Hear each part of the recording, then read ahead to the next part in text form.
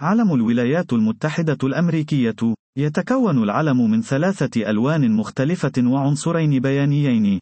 هذا يعطي العلم ما مجموعه خمس سمات رمزية مختلفة. وفقا لمجلة تايم، تنسب ألوان العلم الأمريكي إلى المسؤولين الحكوميين الذين تم تكليفهم في عام 1776 بإنشاء علم رسمي يمثل الدولة الجديدة، الولايات المتحدة.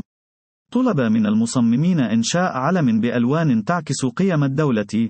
في النهاية تم اختيار تصميم باللون الأحمر والأبيض والأزرق.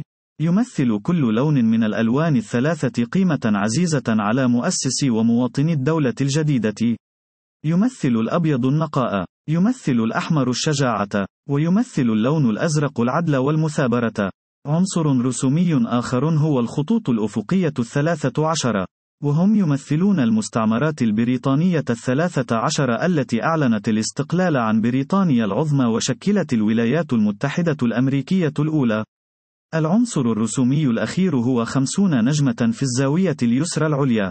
يتم تمثيل كل ولاية في الدولة بنجمة واحدة.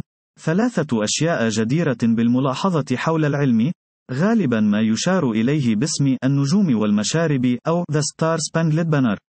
تم اعتماد العلم الحالي للولايات المتحدة في عام 1960. وكان أحدث تعديل هو إضافة نجمة 50 بعد أن أصبحت هاواي ولاية أمريكية رسمية في العام السابق. يتأثر العلم بشدة بعلم من عام 1775 يسمى الاتحاد الكبير. يعتبر هذا من قبل معظم المؤرخين ليكون العلم الأصلي لما سيصبح الولايات المتحدة الأمريكية. نتمنى أن تكون قد استمتعت بالفيديو ونود الاشتراك في القناة أو الإعجاب بالمحتوى ومشاركته. هذه هي الطريقة التي نرى بها أن الآخرين يجدون ما ننشئه مثيرا للاهتمام وأنه يجب علينا الاستمرار في إنتاج محتوى مشابه في المستقبل. نتمنى لك يوما سعيدا حقا.